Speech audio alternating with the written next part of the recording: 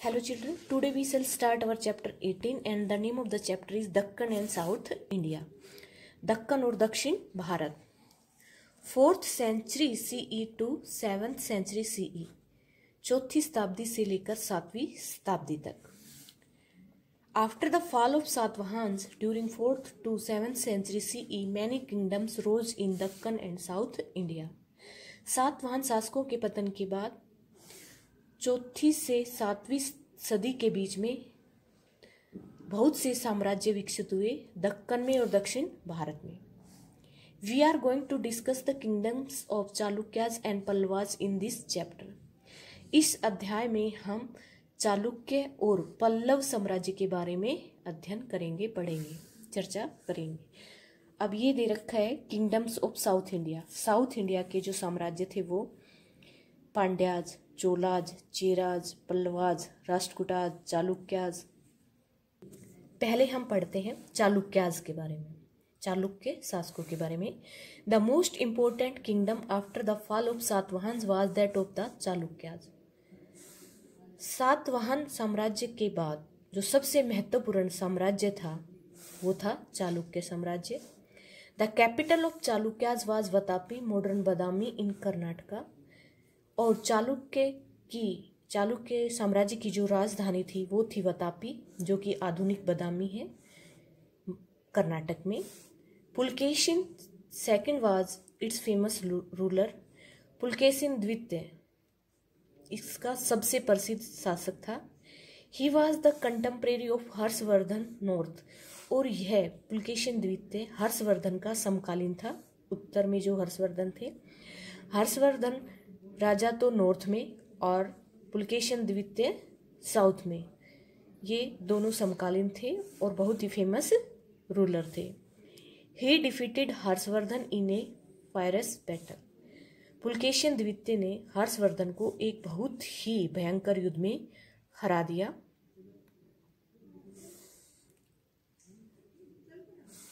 यानी पुलकेशन द्वितीय ने हर्षवर्धन को युद्ध में हराया था। The Chalukya kings patronize art and architecture. Chalukya राजाओं ने कला और वास्तुकला का संरक्षण प्रदान किया। कला और वास्तुकला को बहुत ज़्यादा सुरक्षित किया।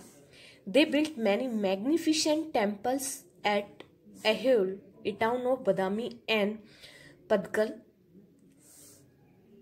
उन्होंने बहुत से शानदार मंदिर बनाए एहोल में, जो कि बदामी का एक कस्बा है और पदकल में। The most famous temples are the Papanatha temple 600 680 CE and Virupaksha temple 740 CE और उन्होंने दो बहुत ही प्रसिद्ध मंदिर बनवाए पापानाथ टेंपल जो कि 680 सीई में बना, और विरूपक्ष टेंपल जो कि 740 सीई में बना। The walls of temples were decorated with scenes from Ramayana और जो इन मंदिरों की दीवारें थी, वो रामायण के जो दृश्य होते थे, उनसे सजी हुई थी। They also built cave scenes and beautiful sculpture in Chalukya शासकों ने बहुत से गुफा वाले तीर्थ स्थान बनवाए और सुंदर मूर्तियाँ। A painting of Pulakeshin second receiving the ambassador of Iran can be seen in the caves of Ajanta Maharashtra एक पेंटिंग है, पुलकेशन द्वितीय की, जिसमें वो ईरान के जो राजदूत थे, उनका स्वागत कर रहे हैं। वो देखी जा सकती है वो पेंटिंग अजंता की गुफाओं में, जो कि महाराष्ट्र में है। In 753 CE the Rashtrakuta king Dantidurga defeated the last Chalukya king Kirtivarman and ended the rule of the Chalukya सत्रह ईस्वी में राष्ट्रकूट राजा दांती दुर्ग ने अंतिम चालुक्य शासक जो थे, कीर्तिवर्मन, उनको हरा दिया और चालुक्य साम्राज्य का अंत हो गया। यह है विरूपक्षा टेंपल की तस्वीर यहाँ पर दी हुई है। अब हमने ये जाना कि सातवान शासकों के बाद आए चालुक्य और फिर चालुक्य अंतिम राजा जो थे वो थे कीर्तिवर्मन और उसको हरा दिया राष्ट्रकूट राजा दांती दुर्ग ने अब हम जानेंगे पल्लवाज के बारे में पल्लव शासकों के बारे में पल्लव साम्राज्य के बारे में After the decline of Satvahan kings, the Pallavas gained power in the south. Satavahana राजाओं के बाद सातवाहन राजाओं के पतन के बाद पल्लव जो शासक थे उन्होंने दक्षिण भारत में बहुत ज़्यादा शक्ति प्राप्त यानी पल्लव जो शासक थे वो दक्षिण भारत में बहुत शक्तिशाली हो गए। Their capital was Kanchi Kanchipuram near Chennai. और पल्लव शासकों की जो राजधानी थी वो थी का, कांची कांचीपुरम चेन्नई के पास। Mahendra Varman was the most powerful and famous Pallava king Mahendra Varman सबसे शक्तिशाली और प्रसिद्ध राजा था। प्रसिद्ध पल्लव राजा था। He was also the contemporary of Harshavardhan. और यह भी, ये महेंद्र वर्मन भी हर्षवर्धन के समकालीन थे। He was not only great warrior but also a very good poet artist dramatist and musician Mahendra Varman जो थे, वो केवल एक महान योद्धा ही नहीं थे, लेकिन वो एक अच्छे कवि भी थे, कलाकार भी थे नाटककार भी थे और संगीतकार भी थे। In early period of his rule he was a follower of Jainism but later on became a devotee of Lord Shiva. शुरुआती जो समय था उसके शासन का महेंद्र वर्मन का, जब वो शुरुआत में सिंहासन पर बैठा तो वो जैन धर्म को अपनाता था। लेकिन बाद में वो शिव भगवान के भक्त बन गए। Narasimha Varman 630 Narasimha Varman first six hundred thirty to six hundred sixty eight C E Narasimha Varman succeeded his father Mahendra Varman. Mahendra Varman के बाद नरसिंह वर्मन उनके बेटे सियासन पर विराजमान हुए। He was also a great warrior Narasimha Varman भी एक महान योद्धा थे। He defeated Pulakeshin second in three wars and brought his capital Badami under his rule उसने पुलकेशन द्वितीय को तीन युद्धों में हराया और फिर अपनी राजधानी बदामी बना ली। He also defeated many other contemporary rulers and established his empire Narasimha Varman ने बहुत से अपने समकालीन जो शासक थे उनको हराया और अपना साम्राज्य स्थापित कर लिया। नेक्स्ट एडमिनिस्ट्रेशन प्रशासन। The king enjoyed all supreme powers राजा के पास सभी दैवीय शक्तियाँ होती थी, यानी राजा बहुत ज़्यादा शक्तिशाली होता था। He was the chief justice and chief of the army वो मुख्य न्यायाधीश होता था और आर्मी का भी मुखिया होता था। The prince, along with other officials, helped him in the governance of his kingdom. राजकुमार दूसरे अधिकारी को अधिकारियों के साथ मिलकर उनकी मदद किया करते थे साम्राज्य का शासन चलाने में। There were many local assemblies which looked after different functions like construction of roads irrigation etcetera वहाँ पर बहुत सी स्थानीय सभाएँ भी होती थी। सब स्थानीय लोगों का समूह भी होता था, जो अलग अलग कार्यों की देखभाल करता था, जैसे सड़कें बनवाने का, सिंचाई आदि का। Sabha was the assembly of Brahmans landowner सभा जो थी, वो ब्राह्मण जो ज़मीन के मालिक होते थे, ब्राह्मण जिनके पास बहुत ज़्यादा ज़मीन होती थी, वो उनका समूह होती थी। सभा में ब्राह्मण लैंड ओनर्स शामिल होते थे। The ur was an assembly of non Brahman landowners and nagaram was an assembly of merchants अब अर जो थी, उसमें वो लोग शामिल थे सभा में, इस सभा में जो ब्राह्मण नहीं थे। नॉन ब्राह्मण लैंड ओनर्स थे, वैस, ऐसे लोग थे जिनके पास कोई ज़मीन नहीं थी। और नगरम में वो लोग शामिल थे, जो व्यापारी थे, यानी व्यापार, व्यापारियों की सभा नगरम थी।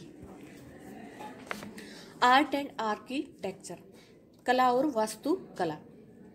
Pallava kings build rock cut halls mandapas with many pillars. Pallava शासकों ने चट्टानों को काटकर बड़े बड़े हॉल, जिन्हें मंडप कहते हैं, बहुत से स्तंभों के साथ बनवाए। Such cave temples can be seen even today in Trichy Pudukottai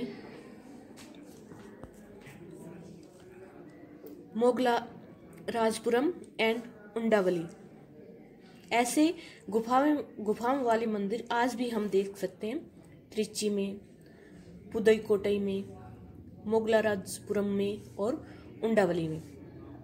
Rock cut ratha shaped like a chariot temples of Mahabalipuram near Chennai are the most famous temples for their delicate beauty चट्टानों को काटकर रथ के आकार में, जो मंदिर बनाए हुए हैं महाबलीपुरम में, चेन्नई के पास, वो सबसे अच्छे प्रसिद्ध उदाहरण हैं मंदिरों के, जिनमें बहुत ही कोमल, नाजुकता से भरा हुआ काम है।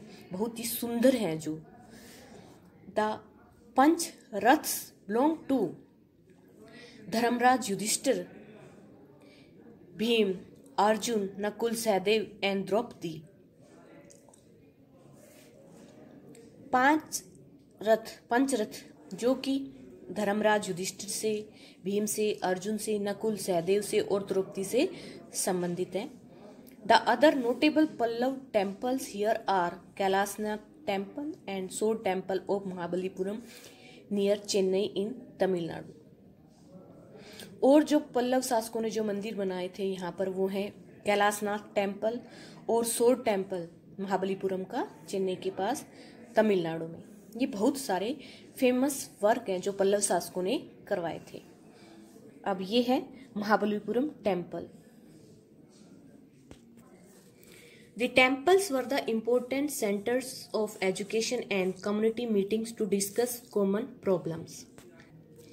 मंदिर जो थे, ये शिक्षा के महत्वपूर्ण केंद्र होते थे और कम्युनिटी मीटिंग प्लेस होते थे, सामुदायिक मीटिंग वाले स्थान होते थे मंदिर, जहाँ पर लोग अपनी सामान्य जो उनकी समस्याएँ होती थी, उनका, उनके ऊपर चर्चा किया करते थे the celebration of festival days and cultural program were held in temple त्योहार वाले जो दिन होते थे, वो यहीं पर मंदिरों में मनाए जाते थे और कोई भी सांस्कृतिक जो प्रोग्राम होते थे, वो सभी मंदिरों में ही होते थे।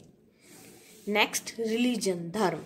A group of saints from different caste preached that devotion that is bhakti was a personal religious matter and everybody was free to worship any god. एक संतों का समूह जो अलग अलग जातियों से संबंधित था, वो उन्होंने ये सीख दी, ये शिक्षा फैलाई कि जो भक्ति है डिवोशन श्रद्धा जो है, जिसे हम भक्ति कहते हैं, ये व्यक्ति का अपना खुद का मामला होता है, खुद का पर्सनल मामला होता है। और हर कोई किसी भी भगवान की पूजा कर सकता है। यानी भक्ति करना एक व्यक्ति का व्यक्तिगत मामला है और वो किसी भी भगवान की पूजा कर सकता है। उस पर किसी भी भगवान को मानने की ये नहीं कि हम उसे ये कहें कि आप इसी भगवान को अपनाएँ। ऐसा नहीं है। Shiva and Vishnu were the main deities of worship. Shiv और विष्णु भगवान जो थे, इनकी ज़्यादा पूजा हुआ करती थी। यही प्रमुख देवता थे। The devotees, sorry the devotees of Shiva were known as Nayanar Nayanars and those of Vishnu as Alvars जो शिव के भक्त थे, उनको तो नाइनर्स कहते थे, और जो विष्णु भगत थे, उनको एलवर्स कहते थे। Thank you